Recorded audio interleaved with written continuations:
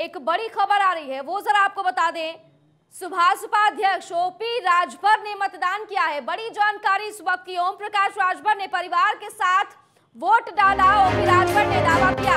गोरखपुर मंडल में अठारह सीटें जीत रहे हैं, राजभर बस्ती मंडल में 11 सीटें जीत रहे हैं, पूर्वांचल की एक सीटों में से 125 सीटें जीत रहे हैं। ये वही सुभाषपा है जिसने 2017 में बीजेपी चुनाव लड़ा था। और अब कह रहे हैं कि हम गोरखपुर मंडल में 18 सीटें जीतने जा रहे हैं। इसके अलावा बस्ती मंडल में 11 सीटें तो ओवरऑल पूर्वांचल की जो एक सीटें हैं, उनमें से एक सौ पच्चीस जो सीटें हैं, वो ओपी राजभर कह रहे हैं कि हम जीतने जा रहे हैं। तो बड़ी जानकारी इस वक्त की। सुभाष अध्यक्ष ओपी राजभर ने मतदान किया। अपने पूरे परिवार के साथ पहुँचे। मतदान बूथ पर और परिवार के साथ वोट डाला है। ऐसे में दावा कर रहे हैं कि गोरखपुर मंडल में 18 सीटें हम जीतने जा रहे हैं। इसके अलावा बस्ती मंडल में 11 सीटें जीत रहे हैं। पूर्वांचल की जो एक सीटें हैं, उनमें से हम 125 सीटें जीतने जा रहे हैं। तो ये तस्वीरें आपको लगातार हम दिखा रहे हैं और बड़ी खबर इस वक्त की। दयाराम भार्गव प्रवक्ता हैं सुभाषपा से हमारे साथ जुड़ गए हैं। दयाराम जी सबसे पहले तो बहुत स्वागत करती हूँ आपका न्यूज़ वर्ल्ड इंडिया में। बहुत बहुत भार्गव साहब ओपी राजभर मतदान कर चुके हैं और पूरे परिवार के साथ बेहद खुश नज़र आ रहे हैं जो तेज है उनके चेहरे पर नज़र आ रहा है। जीत का जीत की चमक है जीत का तेज है। बिल्कुल बिल्कुल देखिए ये सच्चाई है कि भारतीय जनता पार्टी की ये जुमला है या झूठ है। या गुमराह करने की जो नीति है उत्तर प्रदेश की चौबीस करोड़ जनता बदलाव की मूड है। हम्म। और अगर बदलाव का मूड न होता तो आप देखिए उत्तर प्रदेश में जो हमारे साथ जनता किस तरह आ रही है। हम्म। और जनता आज आप देखिए आज हमारे साथ तीन तारीख को साझा हो रहा है उसमें जो है पश्चिमी बंगाल के मुख्यमंत्री जो है ममता बनर्जी दीदी भी आ रही है। तो ये इससे साबित होता है कि उत्तर प्रदेश की जनता बदलाव चाहती है।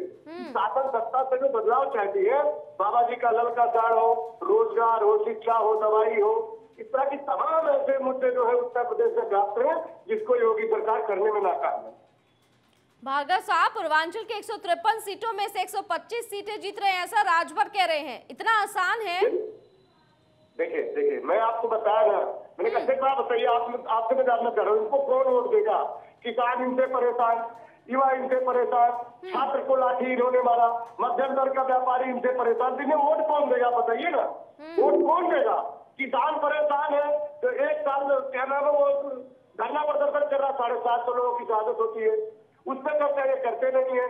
किसान जो है लखीमपुर खीरी में जाते हैं तो केंद्रीय राज्य मंत्री का बेटा जीत करा देता है, चार ही महीने में बेल मिल जाता है। लेकिन इसी उत्तर प्रदेश का कानून देखिए खुशी दुबे, चार रात की दुल्हन, डेढ़ साल से जेल में उसको बेल नहीं मिला। लेकिन जो गाड़ी चढ़ा करके जो हत्या कर देता है फिर प्लानिंग होती है, उसको चार महीने बेल मिल जाता है। इसको आप क्या कह सकते बताइए? उत्तर प्रदेश में कानून व्यवस्था बिल्कुल ध्वस्त है। उत्तर प्रदेश की जनता बदलाव की मूड में अखिलेश यादव को सीएम बनाने के लिए उत्तर प्रदेश की जनता तत्पर है। भार्गव साहब बीजेपी के साथ मिलकर आप चुनाव लड़ रहे थे 2017 में। अब सपा के साथ मिलकर चुनाव लड़ रहे हैं। इतना बदलाव। नहीं देखिए हम भारतीय जनता पार्टी के साथ आए थे हमारे विधायक सामाजिक न्याय समिति की रिपोर्ट इन्होंने वादा किया था लागू नहीं किया था। इन्होंने कहा था कि भर भी हमारी सरकार और वो इन्होंने नहीं किया ऐसा आरोप लगाते हैं। करेंगे नहीं किया। इन्होंने कहा था महँगाई कम करेंगे। इन्होंने महँगाई बढ़ा दिया। इन्होंने कहा था रोज़गार देंगे रोजगारों को बेरोजगार बना दिया बेरोजगार कॉलोनी पार्टी बना दिया। इन्होंने कहा था पिछली सरकारों से कानून व्यवस्था ध्वस्त देंगे आप देखिए चिन्मयानंद स्वामी से सिंगर से ले करके आप तमाम उठा के देख लीजिए। और क्या नाम है हाथरस की बेटी के साथ क्या हुआ? रात को ढाई बजे जला दिया जाता है। ये तमाम मुद्दे थे, जो भारतीय जनता पार्टी, योगी सरकार काम करने में नाकाम हुई, इसलिए भारतीय जनता पार्टी को छोड़ करके अलग हुई तो चलिए, शुक्रिया आपका, भार्गव साहब, और देखिए, जिस तरह से विक्ट्री साइन दिखा रहे हैं राजभर साहब और कह रहे हैं कि एक सीटों में से 125 जीत रहे हैं तो आपको पहले ही मैं मुबारकबाद दे देती हूँ, और 10 मार्च का लेकिन इंतज़ार हमें करना होगा। फ़िलहाल आपका बहुत शुक्रिया, दयाराम भार्गव साहब हमारे साथ जुड़ने के लिए।